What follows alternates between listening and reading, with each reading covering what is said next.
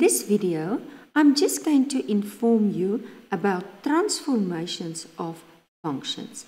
You will find this on page 117 in the Namibia AS level mathematics textbook y equals mx plus c to success.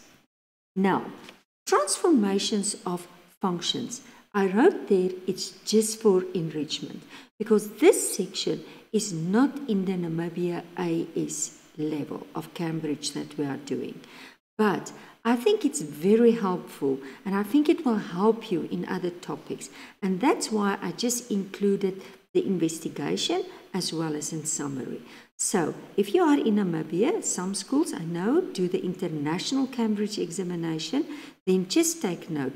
You have to go deeper into to this and do also some of the exercises in transformations of functions, which you will find in other books.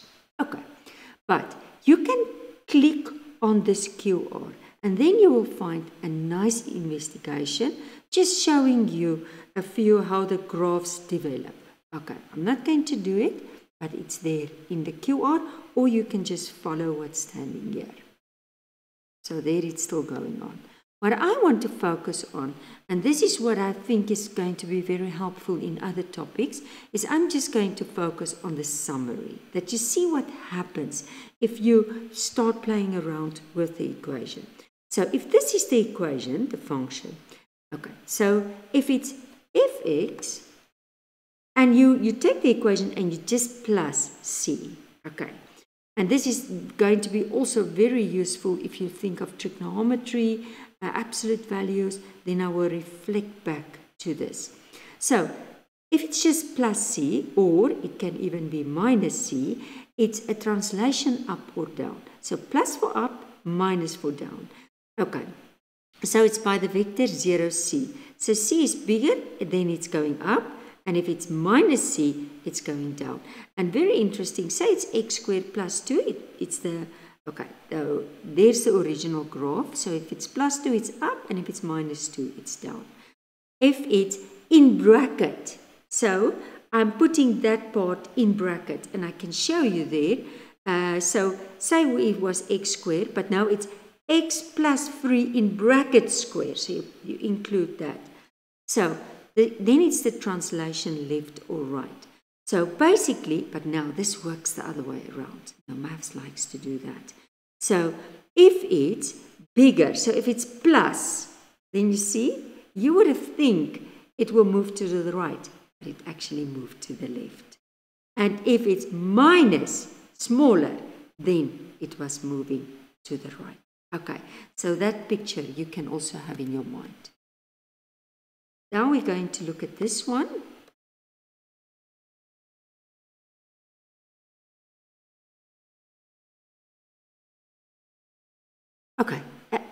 Negative in front, so if I put a negative, it's going to be a reflection in the x-axis. So if you look at this one, it's positive. As soon as I put, it's a reflection in the x-axis. We can flip it upside down by multiplying the whole function by negative 1, the whole function. But if it's in brackets, the reflection in the y-axis. But look at the example. Do you see? It's now not outside, but it's inside. So um, you can flip it left the value. Actually, don't have. Okay. A negative 1, then it's just reflecting there. Okay. Then I move on. A stretch or compress. Now, if, and um, if there's a C, so if the C is bigger than 1, then the stretch is in the y direction. I think it's always best to look at an example. Now, let's just first look at my original example. There is my original example. Do you see? Now I take that and I multiply it basically with a half.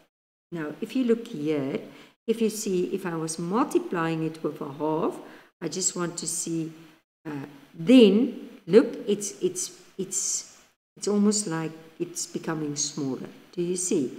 And if I was multiplying it with 2, it's stretching out. Okay, so if the C is bigger than 1, like this one, it stretches in the y. So, so it's only stretching in that direction.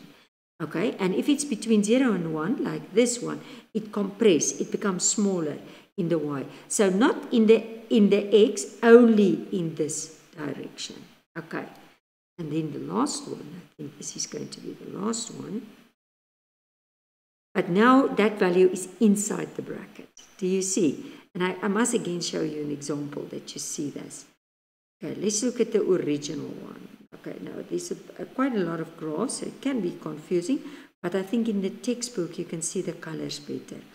Okay, so if I'm looking at this one, this was the original one. Okay, there. Now, if I go and I make it a half, now it's again the other way around. Now it's stretching out. Do you see? So it's stretched in the x direction. But if I make it 2, it's almost like the opposite of this one. Um, but now it's compressing. So it's bigger. You see it's compressing and it's in this x direction, not in the y direction. Just keep this in mind. Uh, so note that unlike for, for the y direction, bigger values compress and um, smaller fractions stretch out. Okay, and I think we can just read this last.